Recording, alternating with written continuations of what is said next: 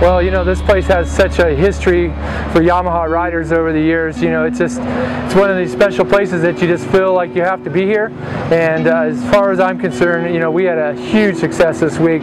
There were so many blue riders throughout the podiums and, and the championships that we walked home with this year was just amazing. So the bLU cRU really stepped it up this year. Just a testament to the hard work does pay off and we'd like to thank all our dealers that are here supporting our Yamaha riders and uh, overall I think it was just a great week.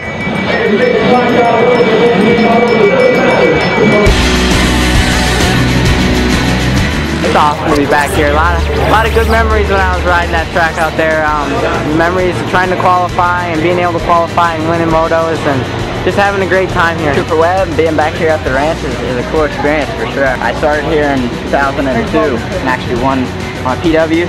So being back here, you know, 12 years later, be able to watch and see all these kids progress. And it's awesome to come back and just enjoy it. Mm-hmm. Mm-hmm.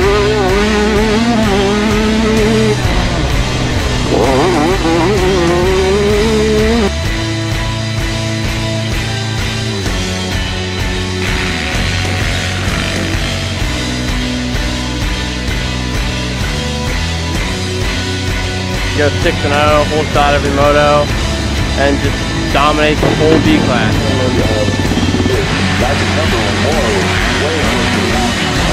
Here at Yamaha, we're very supportive of our amateur program and